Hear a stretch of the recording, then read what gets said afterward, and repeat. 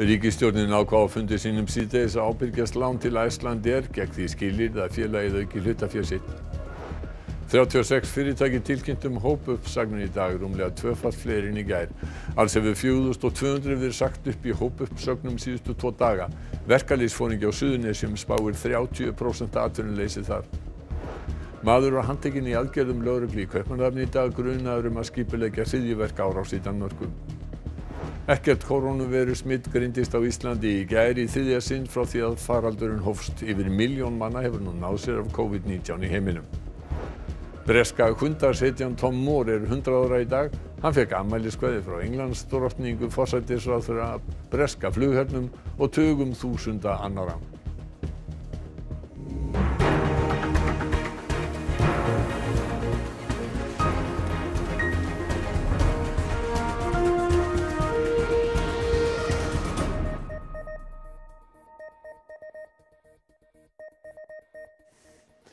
Gott kvöld. 51 fyrirtæki hefur tilkynnt um hópuppsögn til Vinnumálastofnunar síðustu tvo daga þar af 36 í dag. Í þeim hafa 4210 mist vinnuna. Uppsagnirnar eru aðalega úr ferðarþjónustu. Æslandi er tilkynnti Vinnumálastofnun í dag um uppsögn 2140 starfsmanna sem var bóðið á þriðudag. Fyrir utan Æslandi er mistu 2070 vinnuna síðustu tvo sólarhinga. Fyrirtæki hafa tíma til miðnættis til að tilkynna um uppsögn. Forstjóri Vinnumálstofnunar segir erfitt að segja til um hvort fleiri bætist við í kvöld. Þetta eru bara verstu mánaðamót sem ég man eftir í fjölda uppsögnum. Og þetta er alveg 99% úr ferðarþjónustunni. Flestir vinna uppsagnarfrestin sinn. Svo sjáum við til eftir þrjá mánuði sem er svona algengastu uppsagnarfresturinn hvað vonandi verður eitthvað. Það hefur eitthvað rofað til þá þannig að það kom ekki allt þetta fólkin í atvinnuleysi. Flestar uppsagnir eru á höfuborgarsvæðinu og suðunesjum. Þetta lítur mjög illa út. Mér telst svo að bara núna síðustu tvo daga séu um 400 manns í félaginu hjá mér sem eru búin að missa vinnuna. Það er stort hlutfall af 5.000 manns. Þannig að þetta eru svarti tímar. Við erum frá svona eins og bílaleigunum og, og hótelónum erum ekki búin að fá mikið tilkynningum. Þannig að svona óttast það að þeir eiga eftir að blandast inn í þetta. Hvernig er svona hljóðið þínu félagsmönnum? Fólk er áhyggjufullt og hrætt um afkomu sína og svona en samt er fólk svona heldur í vonina. Guðbjörg segir óvissuna mun meiri en eftir fall vá er fyrir rúmu ári. Núna er, eru litla líkur á því að fólk sem missi vinnuna fá aðra vinnu, það er enga vinnu að hafa. Þá viti fólk ekki hversu langt sé í að hjólinn fara að snúast á ný. Um 24% atvinnleysi hefur verið spáð í apríl á Suðunesjum. Ég óttast að við verðum komin ansi nálega 30% ef ekki yfir það í lók mæ, ég er ansið hættum það. Flugþjónustu fyrirtækið Airport Associates sagði upp um 130 manns í dag eða 75% um alls starfsfólks. Við erum að afgreða fraktvilar núna daglega, tvær fraktvilar. Uh, annað er eiginlega ekki í gangi. Uh, við vitum ekkert hvernig sumari verður. Við erum að vona að fara eitthvað í gang en ekkert í hendi. Þetta er algjörlega surrealist staða. Við erum erum að vera afgreða 20 af þessum flugfölum sem eru cirka af þessum sem eru að fljúa til keflaugur og tvær brottvarir á dag það er eitthvað sem ég hef ekki getað ímynda mér. Já, þessar uppsagnir voru 99% í ferðarþjónustu. Bjarnæður, er þetta í takti við það sem þið hjá samtökunum áttu vona? Já, mér langar nú kannski að byrja að segja að segja að þetta er ákvæmlega þungir og erfiði tímar fyrir ferðarþjónustu á Íslandi og svo sem í heiminum öllum. En, og miða við þá stöðu sem ferðarþjónustan er í, þar sem að fyrirtækin er að upplifa 75 til 100% tekju samdrátt, þá er þetta í rauninu mjög rökrétt allar þessar uppsagnir sem að komu til framkvæmda í dag. Hvað með næstu mánuðamót? Já, það er spurning. Ef að svo fyrir fram sem horfir og ekkert breytist, þá getum við því miður átt vona á að það verði eitthvað frekar uppsagnir um næstu mánuðamót. Nú voru þetta mest uppsagnir á höfuborgarsvæðinu og suðunessum. Hvað með aðra landsluta? Já, þetta gildir fyrir alla landsluta því miður og það er alvarlegt vegna þess að út á landi eru náttúrulega lítil og meðalstór fjölskyldufyrirtæki sem eiga allt undir þessu sumri til dæmis. Þannig að það má alveg reikna með að það fara að síga að vera lýja á, á, í næsta mánuði. Hvaða fyrirtæki eða hvers konar fyrirtæki eiga eftir að fara í uppsagnir? Nú hef ég því miður ekki yfirleitt yfir þau fyrirtæki sem eru fóru í þessar uppsagnir núna. Ég er ekki með þær tölur en þá en ég reikna með að þetta muni ganga yfir alla ferðarþjónustuna, alveg þvert á allar greinar hennar. Hvað með aðgerðir stjórnvalda, er það nóg? En nú kynntu uh, að, stjórnvöld aðgerðir á miðvíkudaginn sem við vorum mjög ána með og það var á meðal fjármögnun uppsagnarfrests að hluta en þarna voru kynntar líka frekar aðgerðir sem við höfum eftir að sjá frekar útvarslu á þannig að tíminu verður svolítið að leiða það í ljós hvort að það mun duga til. Einmitt, og við fylgjumst á sjálfsögum með því. Takk fyrir þetta Bjarnir og við kveðum hérna frá Esirótum. Já, takk fyrir það. Ríkistjórnin ætlar að ábyrgjast lán til Æsland er gegn því að félagið auki hlutafér sitt. Fjármálar á þeirra segir að með þessu og aðstóð við að greiða laun í uppsagnarfresti hlaupi ríkistuðningur á miljörðum króna. Ríkistjórnin settist á fund óvinju snemma í morgun eða klukkan hálf nýju. Eftir tvekkitíma fund var gert hlið vegna þingstarfa. Fjármálar á þeirra varðist á allra fregna af Æsland er. Ríkistjórnin fundi var svo haldið áfram klukkan eitt. Um þrjúleitið yfirgáfa allir ráþra nema fjórir fundin. Áfram sátu fórsetisráþra, fjármálaráþra, samgönguráþra og félagsmálaráþra. Rétt upp úr klukkan fjögur laug svo fundi. Umræðefni var beðinni æslandir um aðstóð. E, já, við höfum á þessu stígi kannski bara ákveðið að breyðast með jákvæðum hætti við þeirri almennu ósk og síðan er það frekar úrvinnsla atriði nákvæmlega hvernig, hvaða skilmálar kynnu að vera fyrir því. Víkendi lán þá eða eitthvað þannig? Já, það er akkurat úrvinnslu atriði, það er kannski verið að tala um möguleikan á ábyrð fyrir lánalínu eða eitthvað slíkt á þessum tíumpunkti og þetta hangir allt á því að aðrar aðgerðir og önnur áform félagsins gangi eftir. Fullirt hefur verið að Æslandir þurfa að afla sér 22 til 29 miljardar króna og ykkar þannig hlutafjörsitt. En er sem sagt svar þá ríkistöðnarinn er afdráttalust já við þessari málu um leitan Æslandir? Já, með öllu þessum fyrirvörum, já. Ertu með eitthvað svona, er eitthvað vermið á því? Uh, nei, við getum ekki sagt það á þessum tíumponti. Ríkistjórni listi því yfir í vikuna stjórnvöld ætla að greiða stóran hluta launastarfsfólks í uppsagnarfresti. Viðbúð er að Æslander nýti sér það. Hver er þá aðstóð ríkisins í held við Æslander? Eh, það er útlokað að segja til um það nákvæmlega en dagum eftir að lögfesta það úrraði og eftir að taka við umsóknum og allt sem að lítur að framkvæmt þessu úrraði sér eftir. Þannig að Um, þannig að það er ekki hægt að svara því hvert heildar umfangi verður en það er hins vegar alveg ljóst með þeim gríðarlega umfangsmiklu uppsögnum sem að hafa átt sér stað hjá félaginu að, að það mun uh, geta sótt háar fjárhæðir í þetta úrræði. Það verði einhverju miljardar þá sem kom úr ríkiskassanum? Það sýnist mér já. Sigurði Ingi Jóhansson, samgöng og sveitarstjórnar á þeirra á formaði Franssonar flokksins er gestur Jóhannu Vigdísar Hjaltadóttur í Kastli og svo eftir. Þar verður meðal annars að reynd staða Æslandir og áform ríkistjórnarinnar, staða sveitarfélagana og staða mála á alltingi. Samningafundi eblingar og fimm sveitarfélaga lauk hjá ríkisáttasemjara nú síðdeis án niðurstöðum. Að óbreyttu hefst verkfall eblingafólks á þýðudag. Kristín Sigurðardóttir er með framkvæmdastjóra eblingar. Já, þessi samningafundur í dag stóði tvo klukkutíma og nú líka beinast við að spyrja viðar, kom eitthvað nýtt fram á fundinu? Já, verkefnið okkar eins og við lítum á það er náttúrulega bara að finna útfarsla á því hvernig við getum gert sambarlegan kjærasamning við samband íslenska sveitafélag eins og þann sem við erum búin að gera við Reykjavíkuborg og ríkið og umræðin í dag og fundinum snýrist svolítið um það að við vorum að leggja svona á borði bara okkar tillögur að, að svona góðum framkvæmumlegum útfærslum uh, á því. Var því vel tekið? Ég það miðaðist ekkert áfram í viðræðum í dag því miður. Nú hefur formaður sambands íslenska sveitarfélaga svona varpa fram þeirri hugmynd að hugsalega þyrti alþingi að setja lög á ykkar verkfall. Hvernig hljómar það? Já, það má vera að hanna dreymi um, um slíka lausna málnu en ég myndi halda að það væri nú vanleira einfallega að bara koma til mótus við samnýsælan og, og reyna að finna lausnið þeim hætti og ég held nú líka hljóta að telja stansi langsótt hugdetta að ætla að fara að setja lög á kjærabaráttu láluna fólk sem meðan að háluna hópar núna síðustu vikum og mánuðum hafa verið að gera ágætla vissi og, og var þá ekki rætt um lagasetningu.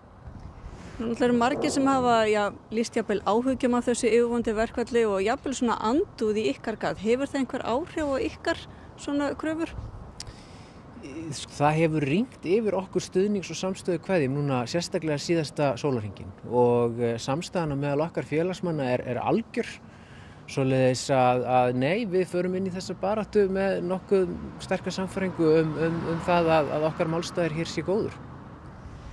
Næsti fundur í þessari kjaradeilu verður á mánudaginn, náist ekki samningar þá, þá skellur á verkvall á hádegi á þriðjudag. Dómsmálar þeirra, takk, takk fyrir þetta Kristín. Og við ætlum að snú okkur að því að segja eitthvað frá því að dómsmálar á þeirra hefur skipað höllu Bergþóru Björnsdóttur í ennbætti lauruglustjónas á höfborgarsæðinum. Halla Bergþóra hefur verið lauruglustjóra á Norðurlandi Eistra frá 2015 og var þar áður síslumar Akranis frá 2009.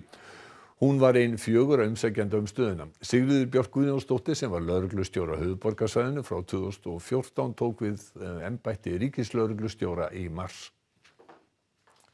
Fjármálar á þeirra segir óheppilegt að afgreysla brúarlána hafi dreyist en það hafi þó ekki valdið tjóni. Þing á að starfa til 25. júni, hálfum mánuði lengur en upphaflega stóðu til. Þingfundur í morgun hófst á því að Sigmundur Davíð Gunnlaugsson, formaður miðflokksins, spurði fjármálar á þeirra hver staðan væri á brúaralánunum svokölluðu, sem hafi leið mjög á að afgreiða út úr þinginu fyrir rúmum mánuði en sé ekki ennfærið að veita. Ráð þeirra svaraði því að nú væri í loka frágangi samkómulaga á millisæðalabankans og bankana um framkvæmt lánana.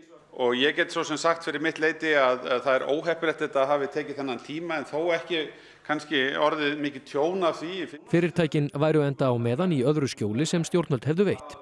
Formaður samfélkingarinnar spurði um stöðu Æslandeir og segði líklegt að ríkið myndi greiða félaginu 7 miljardar í gegnum uppsagnarleiðina. Er eðlilegt að ráðstafa svo stórum upphæðum og jafnvel meiru í framhaldinu til að verja hluta fjö fyrirtækis án þess að við eigum nokkurn möguleika fá það með beinum hætti tilbaka og eignast tímabundið í fyrirtækinu. Hvers vegna vill hv. þingmaður einungis ræða um Icelandair? Hvers vegna boðar hann ekki þá stefnu sína að gegn stuðningi við fyrirtæki sem að þurfa nauðsynlega að fá svigrúm til þess að endurskipuleggja sinn fjárhag þá vilji hann boða ríkisvæðingu allra slíkra fyrirtækja. Nei, það er bara það sem maður má skilja af orðum hv. þingmanns. Eða ætlar hann að handvelja eitt og eitt fyrirtæki út og segja hér eru fyrirtækin sem að Samfylkingin vill eignast hlut í en við ætlum að skilja hinn eftir. Fyrsta umræða fór svo fram um nokkur frumvörp, meðal annars stuðning við nýsköpunargeiran og þá var byrt ný starfsáætlun þingsins til 25. júni, tveimur vikum lengur en upphaflega var gert ráð fyrir, en svo gamla var tekin úr sambandi 19. mars vegna faraldursins. Gert er ráð fyrir að nefndarfundir verði á hefðbundnum tímum frá og með mánudegi þegar rimkað verður um samkomiðbann en að það verði þó áfram fjarfundir. Tilkynnt væri dag um uppsagnir forstjóra í tveimur fyrirtækjum sem skráðir í kaupallin á Íslandi. Guðmundur Kristjánsson hættir hjá útgerðarfélaginu Brimi af persónulegum ástæðum að því er segir í tilkynningu. Finnur Árnason hættir sem forstjóri Haga eftir 15 ára starf. Guðmundur Martinsson, framkvæmdastjóri Bónus, sem er dóttur fyrirtæki Haga, hættir einnig eftir 22 ári í starfi. Danska öryggislauruglan og lauruglan í Kaupmannöfn handtóku mann í dag grunaðan um að leggja á ráðin um hryðjuverka árás í Danmörku.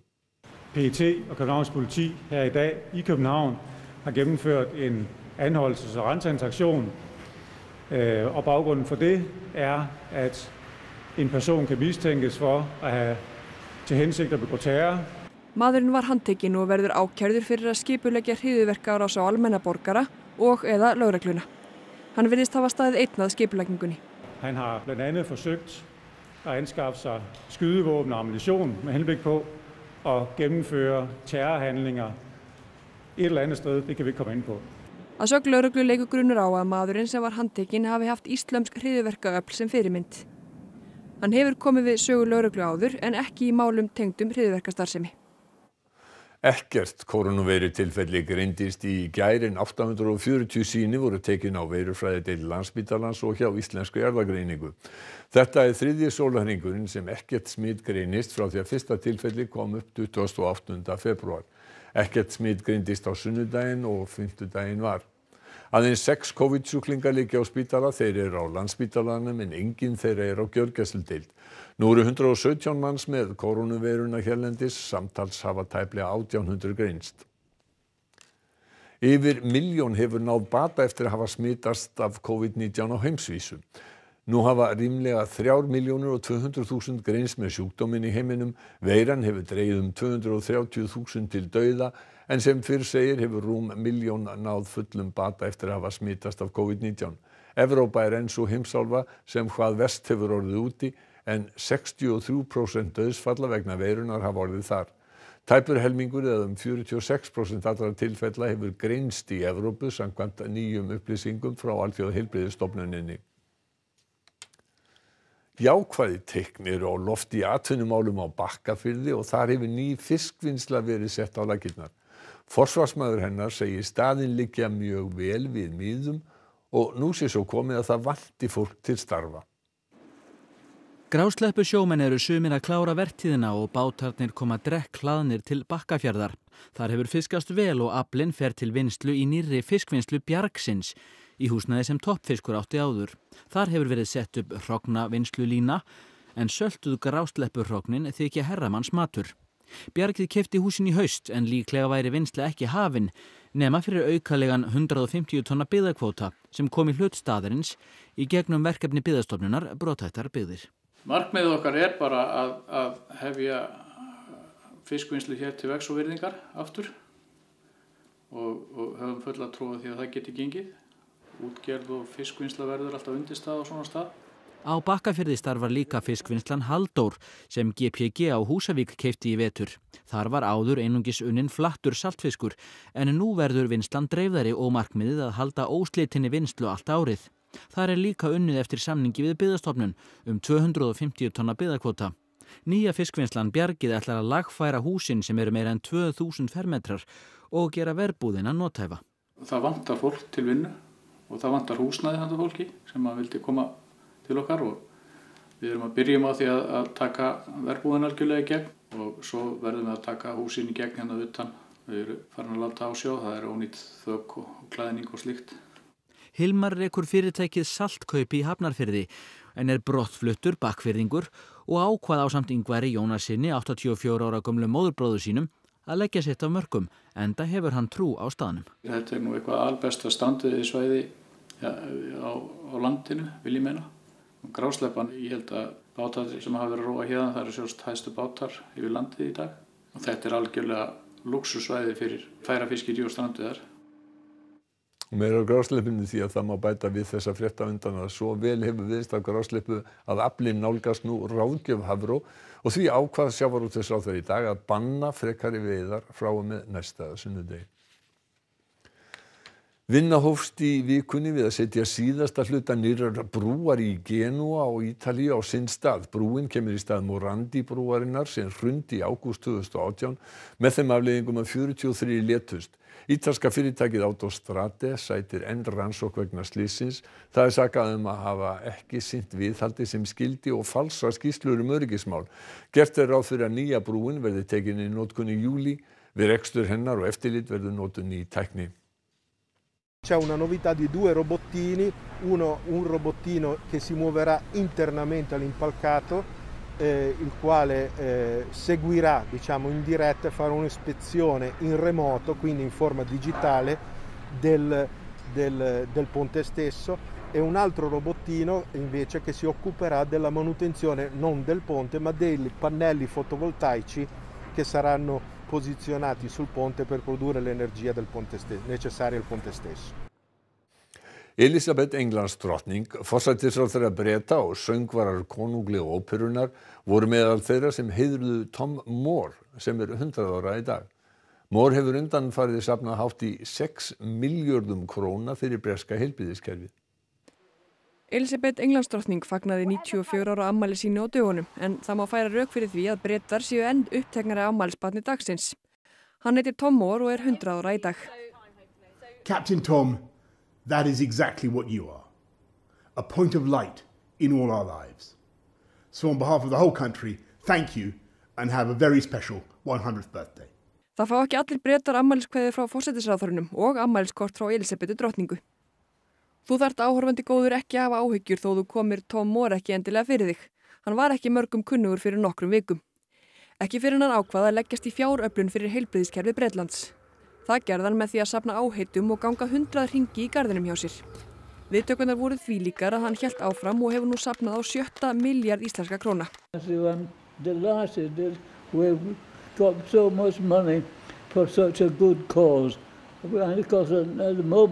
That cause is still necessary. We, they haven't finished. They're, they're still working their socks off, aren't they, for all these poor ill people. Fyrrum herrmaðurinn Mór er orðin þvílík kvundags hetja á tímum COVID-19 að postþjónusta Bretlands hefur vart undan að taka á móti tugum þúsunda árnaðaróska sem Mór berast í posti frá öllum heimsóknum. Post office deliver boxes like this, about oh, four, five hundred a day of these, which are absolutely jammed full of cards. Mór var sömuleiðis gerður að heiðus ofursta í herdild sinni í tilmi dagsins og tvær Spitfire orustuflugvilar úr setna stríði flugu heiðusflug honum til heiðurs. Ammali-söngurinn var svo ekki sungin og spilaður af neinum viðvanningum heldur tónlistafólki frá henni konunglegu óperu.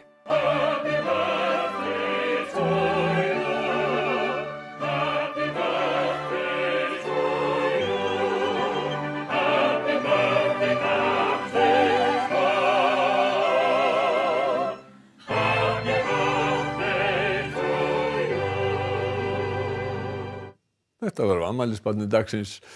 Hrafn Guðmundsson viðurfræðingur spáir að smá saman drægi úr vindi næsta sólarhingin og jafnframt haldi áfram að kólna. Norðaustan 5-10 metrar á sekundu á morgun með dálitlum jéljum fyrir norðan viða bjart saman af degi síðra en þyknar síðan upp með skúrum síðst.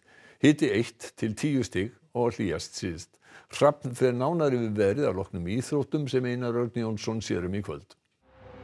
Alfred Fimboðsson segist þakklátur að búa í landi eins og Þýskalandi á tímum eins og þeim sem við lifum nú. Vonasti til að keppni hefist að nýju í Þýskaboltanum um miðjan mæ. IR hefur hætt við að hætta með kvennalið í handboltan. Mikill kraftur vaknaði í breiðholti eftir að tilkynnt var um að leggja eitt í kvennaliðið niður í mars. Og skáklistinn blómstra sem aldrei fyrr á netinu. Í gær var Íslandsmeistar í netskák kryndur. Og þá er það helstu aðtriði fjartana í kvöld. Ríkistjórnin ákvað á fundi sínum síðdeis að ábyrgjast lán til Æslandir gegn því skilir að félagið auki hlutafér sitt. 36 fyrirtæki tilkynnt um hópuppsagnir í dag rúmlega tvöfalt fleiri en í gær. Alls hefur 4200 verið sagt upp í hópuppsögnum síðustu daga. Verkalýsfóringi á Suðunisjum spáir 30% atvinnuleysi þar. Maður var handtekinn í aðgerðum lögreglu í Kaupmannafni í dag grunaður um að skipuleggja hryðjuverk árás í Danmörku. Ekkert kórónuveirusmitt greindist á Íslandi í gæri í þriðja sinn frá því að faraldurinn hófst. Yfir miljón manna hefur nú náð sér af COVID-19 í heiminum. Breska hundagshetjan Tom Moore er 100 ára í dag. Hann fekk afmæliskveðjur frá Englandsdrottningu, forsættisráðherra, breska flughernum og tugum þúsunda annara. Við verðum aftur á með aftur á ferðinni með fréttir klukkan 10 í kvöld, bæði hér í sjónvarpinu og útvarpinu. Við minnum á að fréttir okkar eru aðgengilegar allan sólarningin á vef okkar og.is sælað sinni.